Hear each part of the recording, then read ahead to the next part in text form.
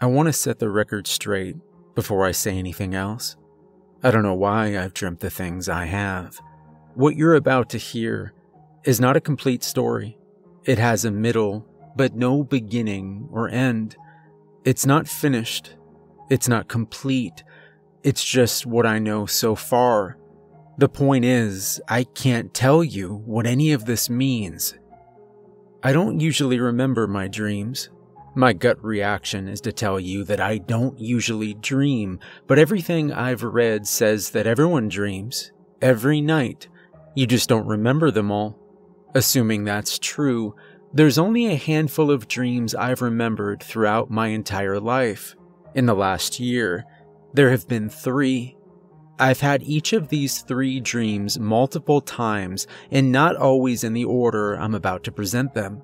I choose this order because I think it's the order that makes them the easiest to digest.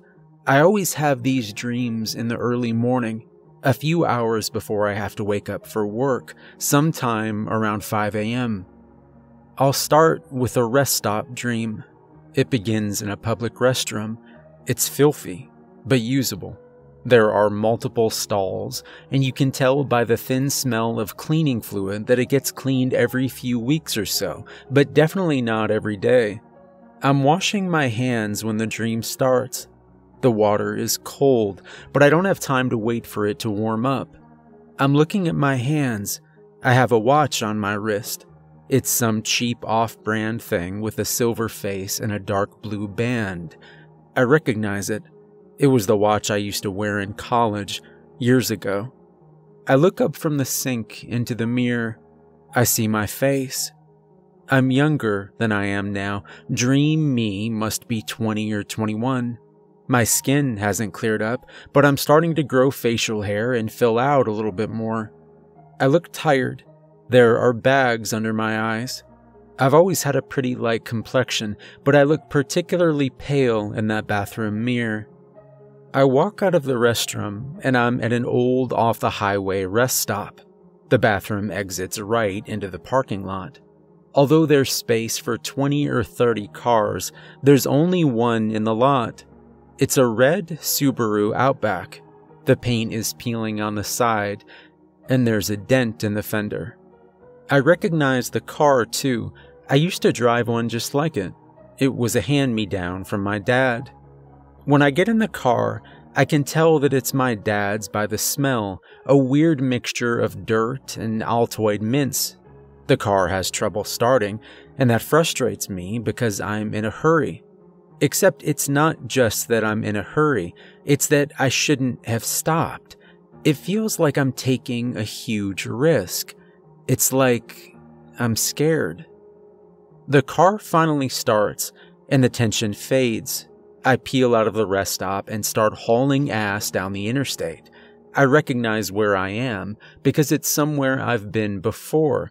It's the highway I drove between home and college, a stretch of I 70 out in western Kansas. I'm surrounded on either side by fields of wheat and corn. I pass a few farms and a field of windmills.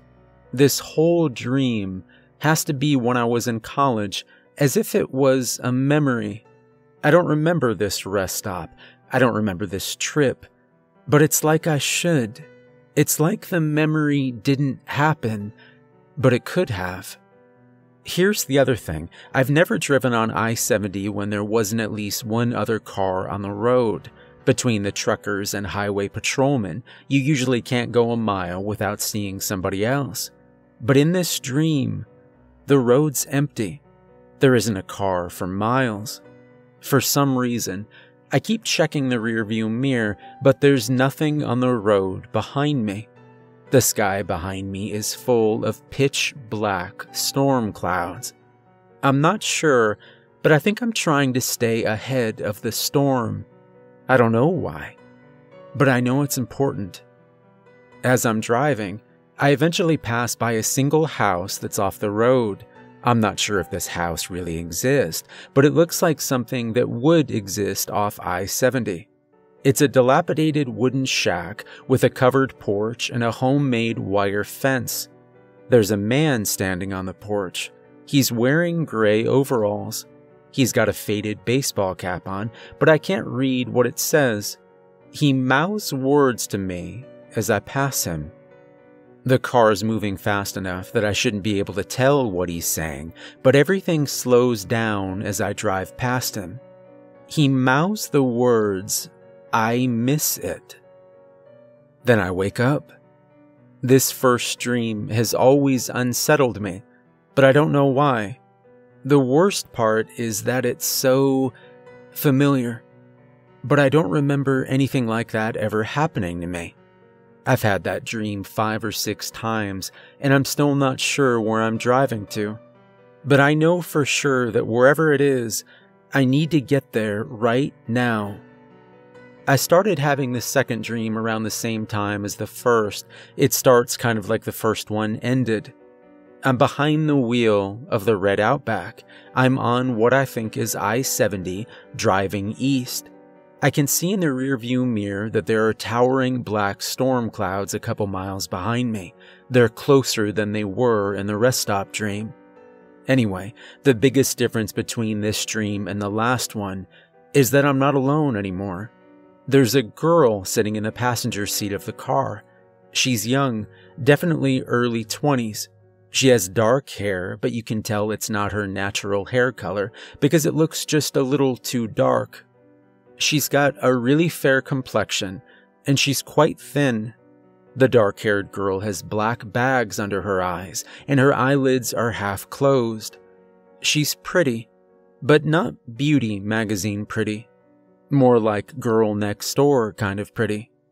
Her most striking feature is the bright red scar on her chin. It looks like it's recent. The strangest thing about her is that I've never seen this girl before. Someone once told me that all the faces you see of people in your dreams are people you've seen before in real life because your brain doesn't create new facial patterns. I don't know if that's true or not, but I know that I haven't seen this particular face before. For a while, we just drive on in silence. She's mad at me, but I can't remember why. Eventually, she speaks. She's quiet. How are we on gas? I look at the gauge and it's almost on E. This makes my heart sink. We need to stop and fill up. Already? Yeah, I'm sorry. I don't know why I say that, but it feels like my fault. There's an exit off the highway up ahead. I flip the turn signal on and get off the highway. The dark haired girl looks at me funny. Why bother with a signal? What do you mean? There's no one around to see it. Why bother? I don't say anything. I pulled the Subaru into the parking lot of a fancy Shell station. All the pumps are empty, and the building itself is dark and silent. I look through the windows to see if the pumps are still on. The screen on the pumps read, Please insert your credit card. I open my door to get out of the car. The girl with the scar on her chin grabs my arm. Be careful. Don't let him get close. I agree with her and start filling my car with gas. This entire time, I'm shaking a little. I keep feeling the need to look over my shoulder. Minute after agonizing minute ticks by. Eventually, the pump stops with an audible clunk. I turn around to walk back to my door, and I see a man standing at the pump next to us. It's the man from the first dream, the one I could see mouth words from the car. His overalls are stained with what looks like oil or dirt. I can see now that his skin is near white. His eyes are bright red. I move towards the driver's side car door. He's walking towards me, but he moves at an unnervingly slow rate. I pull the handle of my door, but it doesn't budge. I must have locked it by reflex when I got out. I take my keys out of my pocket. My whole body is shaking now. When I try to turn the key to unlock the door, I drop the keys. The man in the baseball cap is only a few feet away from me. I look at his face. His mouth is open and he starts to speak. His voice is dry and scratches. I miss it. I miss it so much. The dark haired girl pushes open the driver's side door. I grab my keys off the ground and slam the door shut just as the man reaches out towards me. The car starts on the first try, and I floor it out of the gas station back towards the highway. When I look in the rearview mirror, I don't see the man at the gas station. One second he was there, the next he's gone. I'm still shaking as I pull the car back onto I 70. The girl puts her hand on mine. Her eyes are wide, tears are welling in her eyes. He didn't touch you, did he? No. You saved me. Thank God. Above us, the sky is growing dark. The clouds are closer than ever. That's where the second dream ends just like the first, it feels very real, but it definitely never happened to me. This dream seems to come after the first dream, but I can't say for sure. The biggest mystery about it is the dark haired girl. I don't know anything about her, but in the dream, she's so familiar. I almost don't want to talk about the third dream. I've said this much, so I suppose I should. But the third dream is different than the rest. The third dream is the worst. There's no red Subaru in the third dream.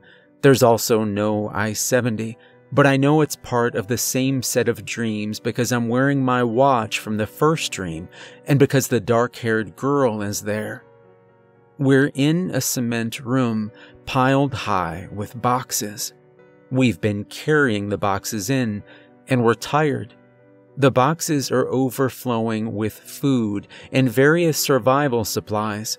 I can tell we're planning on staying in this room for a while.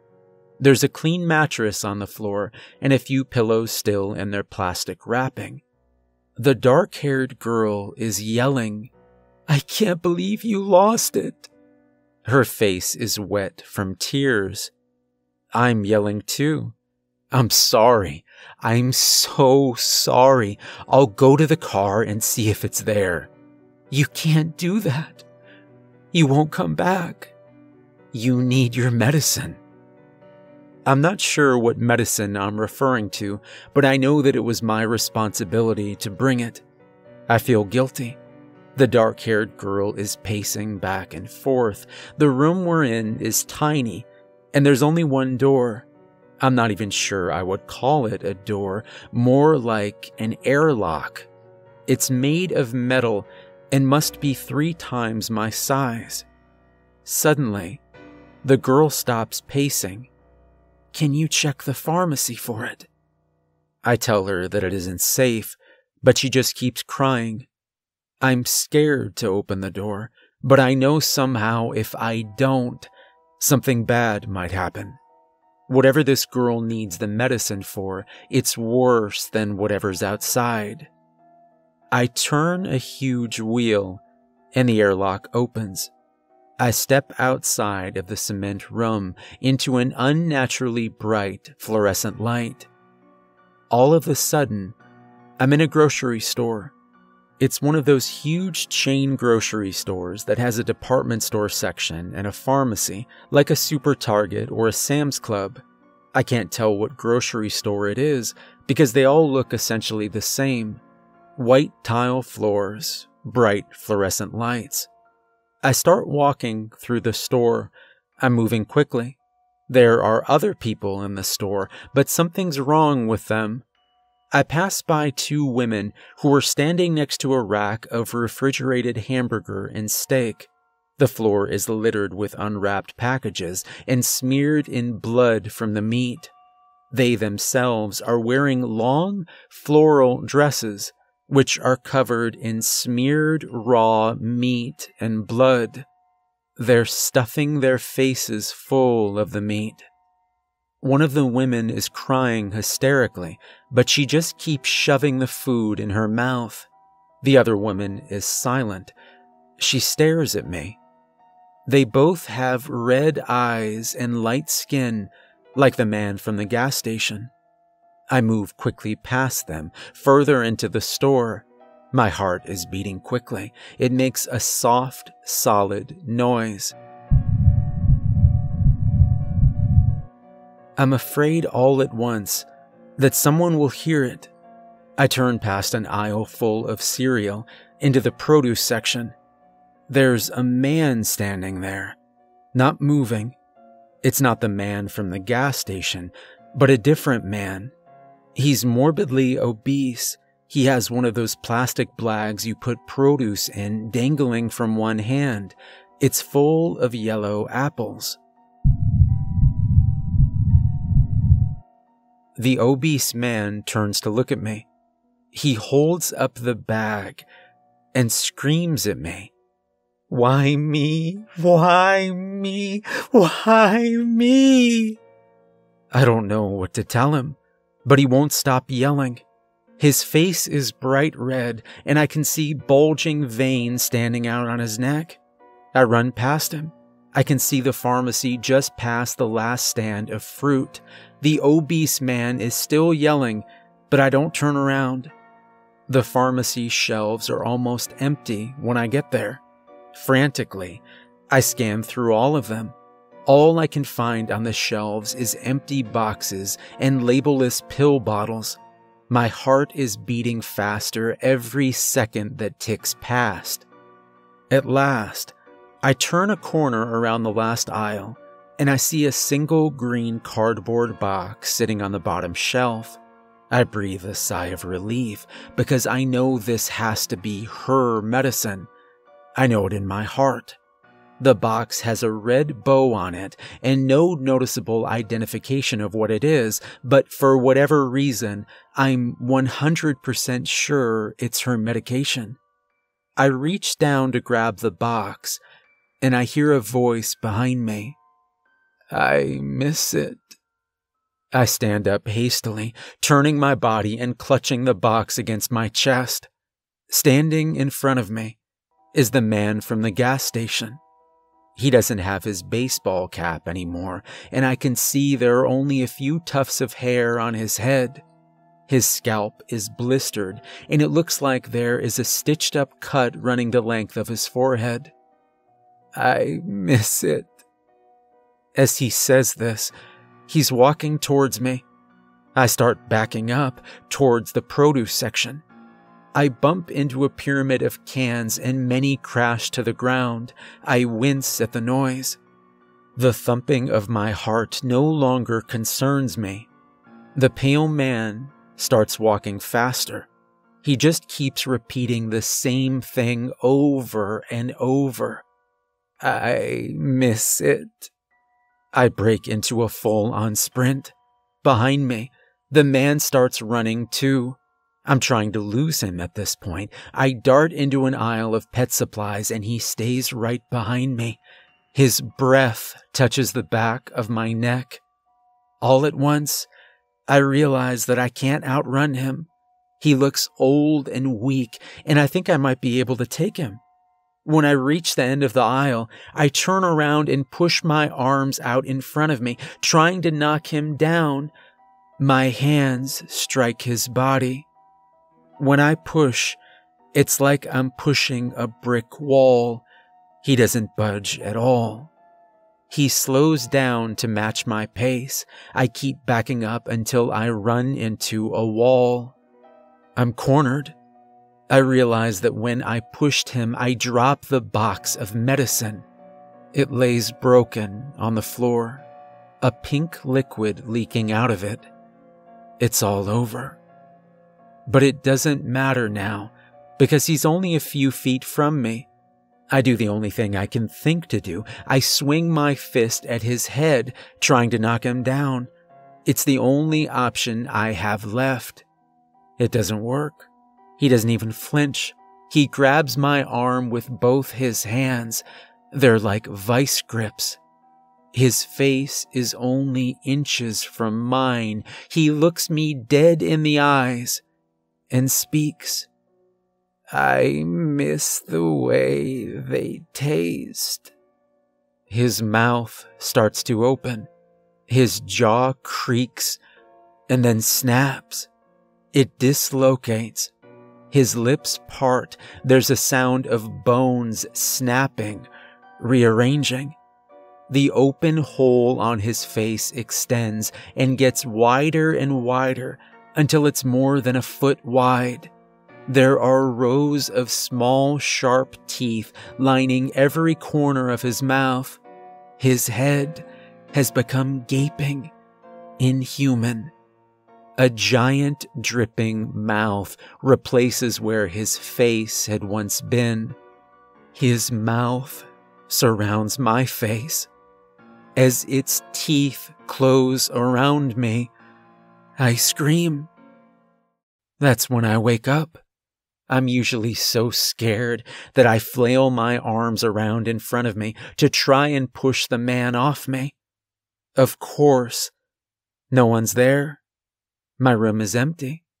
I can never go back to sleep afterward, though. I just lie in bed and wait until I have to get up for work. I've had that last dream the most, probably seven or eight times. Despite how much it upsets me, I hadn't ever planned to talk about it. I don't dream very often, and I don't put much stock in my dreams. This isn't the kind of thing I would normally tell someone. But the other day, something happened that changed my mind. I was riding the bus to work. I work at a small liberal arts college. I live pretty far away from the university, out in the sticks.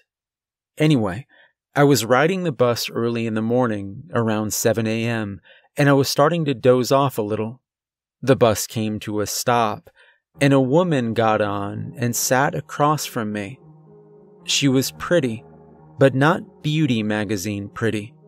She had a faded scar on her chin and dirty blonde hair. She looked to be in her mid 30s, my age. I didn't know who she was, but she was familiar. She looked like the girl in the dream, but older. At first, I figured that meant it wasn't her, but then I remembered I was younger in the dream than I am now. So it would make sense that she was too. Her hair was the wrong color, but then again, the girl in the dream's hair looked like it was dyed. I sat straight up and stared at the girl. She was reading a little hardcover book.